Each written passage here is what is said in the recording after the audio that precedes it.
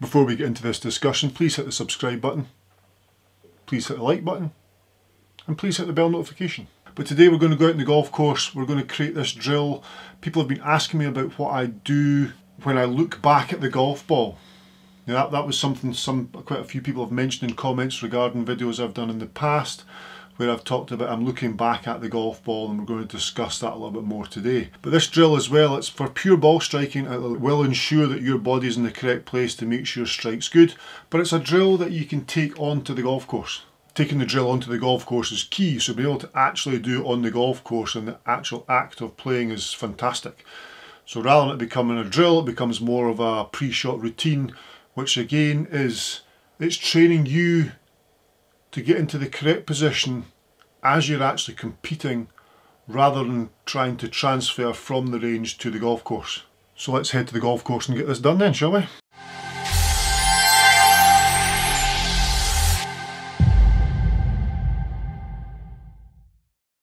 So obviously we're on the golf course now, we're taking the drill from the range to the course, amalgamating that together to make golf more fun, more achievable and just all together better. So it's an iron drill we've been working on at the range.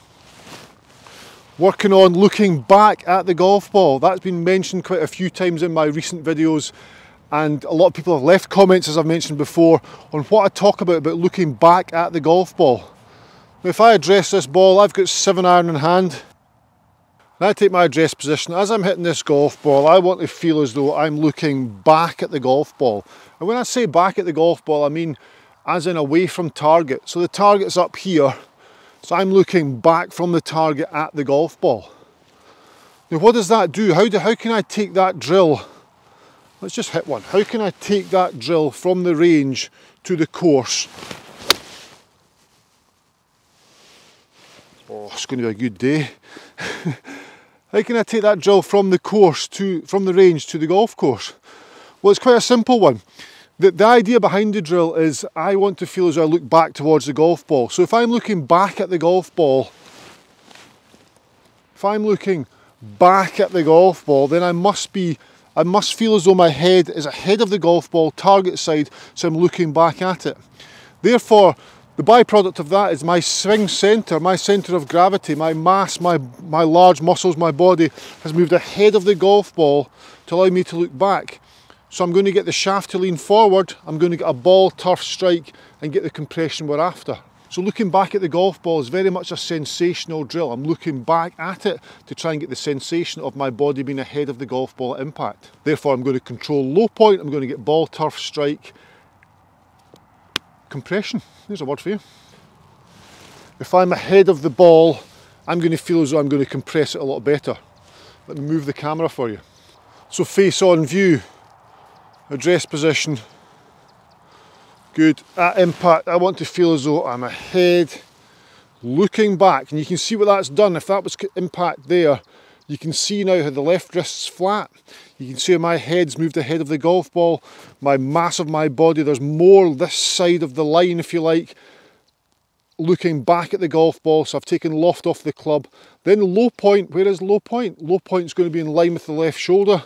So I'm going to hit ball as I keep turning, left shoulder goes back slightly. So low point is going to be here, in line with shoulder, and then release from there. So it's getting the feeling there that I'm looking back at that golf ball.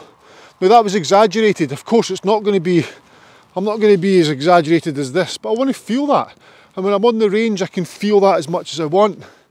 Then I need to take it to the golf course. This is the key area we're going to talk about, is taking this to the golf course. Address position, good. Looking back at ball at impact, is that going to get a ball turf strike? Let's try. Absolutely. Ball was there, divots here. But take it to the golf course. How can we do that? I'm going to show you. For this you'll need Sharpie pen, golf ball. You need to colour in a dot on your golf ball, right in the middle, away from the text. Just colour in one dot, one dimple, as so.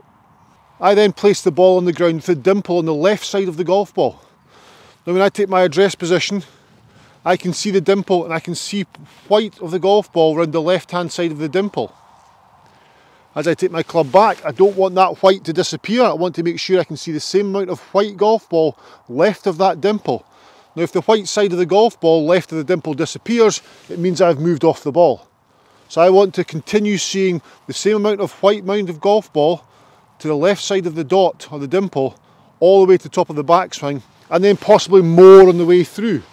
Let me move the camera to let you see how I perceive this. So as I look down at the golf ball I can see there's some white to the left of the black dot. Now I want to maintain that to the top of my swing and then when I move forward as my body turns I'm coming down to impact I'm seeing more white left of the black dot as I come down. If I go back to address position, there's address position. On the backswing if I take the club back and the white golf ball to the left of the dot starts to disappear, then I've moved too far off it and I have to make so much compensation to get back to get ball turf strike. So I want to see black dot or one dimple left of the golf ball, the white around the outside of the golf ball or outside of the dimple, I want to maintain that to the top of the swing. As I come down, I'm starting to introduce more white left of the dimple and that ensures I'm getting ahead of the golf ball. So that was a good visual for you there to see how you can do that on the golf course. So you can practice this on the range. There's always a little line on your golf ball, your range golf ball, or, or use something because you can place the ball. At this time of year we've been preferred lies. At this time of year in the UK we get what's called a preferred lie, which means you, if you're on the cut fairway, you can lift your ball, clean it and place it within six inches. So when you place it, you make sure you've got that black dimple or that black dot on the left side of the golf ball. Now this is obviously for when we're hitting irons and golf shots off the ground because we want the ball turf strike. When we're on the tee it's a different matter so forget that because I know people will comment about that. You're clever you guys. So when you take your preferred lie make sure you leave the dimple on the left hand side of the golf ball. So we've been up to the range, we've worked on that, we've got the left side of the golf ball, we've got the dimple there all the time. Perfect, perfect. I can see that black dot every time I play. Now I come onto the golf course, I'm walking up, I come to my golf ball, and I can take my preferred lie and place the dimple in place. So I'm always aware of what I'm going to be doing or what I'm trying to achieve and I'm able to take that range session onto the golf course. If you couldn't for some reason take the preferred lie, you'd walk up to your shot and just pick a dimple. Pick a dimple because there's always one that stands out. So you just you keep an eye on the dimple the dimples are slightly different coloured, there's, there's, there's shading either side of each dimple, so you have to be a little bit more precise, but you can certainly use that. That's how we can take the range session onto the golf course. I address the ball, I'm aware of my dimple. As I've placed this ball just now, it's the number two exactly on the ball. We'll call it dimple, so there's black dimple, I can see that, brilliant. Take a little drill up the top of my swing, can I still see the same amount of white left of the dimple? Yes I can. No, not any longer. No, yes. So I'm centred. And now is there more white left as I come down? Yes, there is. There's the drill. I'm able to do that in slow motion. I'm able to, before I hit this shot, so I could be on the course now, let's just place ball as if I'm on golf course. Here we go. I can see a dimple, left side, good.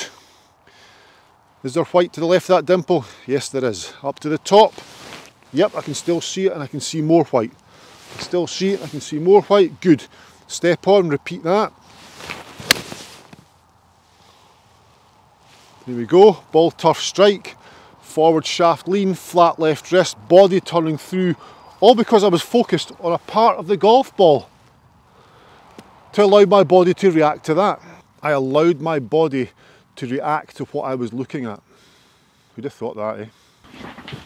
Right, we're back. Here we go. I hope all that made sense. I hope that encourages you to be able to take your practice onto the course, understand how you can amalgamate your practice session and your course session, but also making the practice actually part of your game. So you're on the course now and you can you can take the drills you've been working on, you can go into the course, you can adopt it there and then, and it becomes part of your actual game. It becomes real life. Fantastic. Guys, thanks for watching. If you've hit the subscribe button, I appreciate it. If you've not hit the subscribe button, please do that now. That would be fantastic. But the subscribe thing, that's big for me now. I would quite like people to hit that subscribe button a little bit more. Thank you.